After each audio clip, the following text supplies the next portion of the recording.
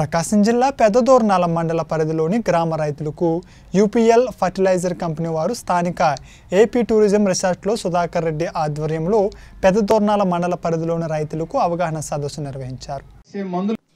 ఈ కార్యక్రమంలో సుధాకర్ రెడ్డి మాట్లాడుతూ ముఖ్యంగా జనవరి ఫిబ్రవరి మాసాల్లో మిరప రైతు నల్ల తామర పురుగు దాని వలన ఆకుముడత రావడం ఇటీవల కురిసిన వర్షాలకు పేనుబంక రావడం వాటి నివారణ కొరకు రైతులు ఏ మందు వాడాలి ఎంత మోతాదులో వాడాలి రైతులకు అవగాహన కల్పించారు. ఈ కార్యక్రమంలో సిబ్బంది Harikrishnarao ZMM K Srinivas sales officer Ajay Eshwar Reddy cluster officer మండలంలోని రైతులు విరివిగా పాల్గొన్నారు.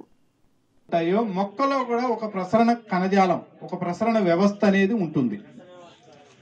ఆ ప్రసరణ వ్యవస్థ అంటే మనం స్ప్రే చేసిన మందులు ఈ సిస్టమిక్ మందులు ఆకుల ద్వారా తీసుకొని మొక్క మొత్తం కూడా విషం అవుతుంది ఎప్పుడైతే ఈ దోమలు మనకు రసం పీలుస్తాయో ఆ దోమ లోపలికి మందు వెళ్ళి ఆ దోమని కంట్రోల్ చేస్తాయి. అయితే వీటికి ఉండేటువంటి డిసడ్వాంటేజ్ ఏంటంటే ఎక్కువ సంవత్సరాలు వాడినప్పుడు ఆ దోమ జాతులు ఏమవుతాయంటే ఆ మందులకు అలవాటు పడిపోతాయి. ఓకే ఒక వరుసగా నాలుగైదు సంవత్సరాలు వాడిన తర్వాత ఏమవుతుంది అంటే ఆ దోమ ఆ మందుకు అలవాటు పడిపోయి దానికి తట్టుకునే శక్తిని ఏర్పరచుకుంటాయి. తర్వాత మనం ఏ మందులు వాడినా అవి కంట్రోల్ కావు. గతంలో మనం చూసాం కాన్ఫిడార్ అనే మందు ఎకరానికి యాభై ఎంఎల్ వేస్తే అన్ని రకాల దోమ జాతులు రసం పీల్చే పురుగులు అన్నీ కూడా చనిపోయి తెల్లదోమ కానీ పచ్చదోమ పేను వంక అన్నీ పోయాయి అట్లాగే గతంలో మనం ఎస్పేటు ఆర్తిన పొడి మనం పావు కేజీ ఎకరానికి వేస్తే ఎట్లాంటిదైనా పోయేది. ఇవాళ మనకు అర అర కేజీ వేసినా కూడా లేదా కాన్ఫిడార్ పావు లీటర్ పోసినా కానీ ఏం పని చేయట్లేదు.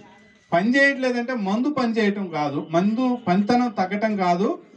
ఆ దోమ లేదా ఈ రసం పీల్చే పురుగులు ఆ మందులకి రెసిస్టెన్స్ అంటే తట్టుకునే శక్తిని ఏర్పరచుకుంటాయి అన్నమాట ఇవాళ మనం కరోనా వైరస్ చూసాం. ఈ కరోనా వైరస్తో పోరాడేటువంటి యాంటీబాడీస్ని మనం ఇంజక్షన్ రూపంలో మనం వేసుకోవటం వలన తయారవుతాయి. అయినా కానీ ఆ వైరస్ ఏం చేస్తుంది? మార్పులు చెందుతూ ఉంది. కొత్త కొత్తగా మార్పులు చెంది కొత్త వేరియంట్స్ అని మేము విన- ఉంటాం టీవీలో. డెల్టా వేరియంట్ ఎందుకంటే ఆ వైరస్ కూడా మార్పు చెందుతూ ఉంది. తట్టుకునే శక్తి ఏర్పరచుకుంటుంది.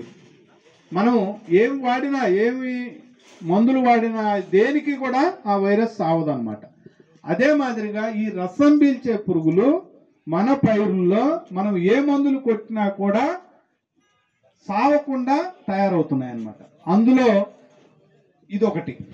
ఏది? నల్ల తామర పురుగు అనేది ఇప్పుడు మనకి నల్ల పేను అని మన పూతలో ఎక్కువగా మనం చూస్తున్నాం.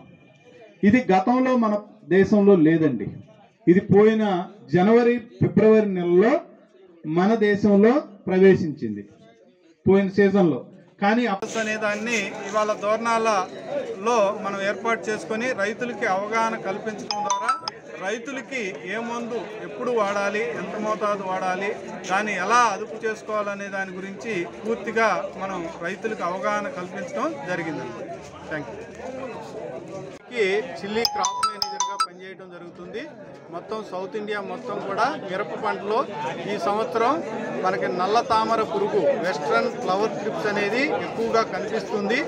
ఇది మనకి గతంలో ఎప్పుడూ లేనటువంటి రసం పీల్చే పురుగు.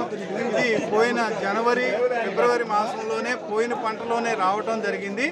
అయితే ఈ సంవత్సరం కొంచెం ముందుగానే రావటం వల్ల ఎక్కువ నష్టం జరుగుతూ ఉంది.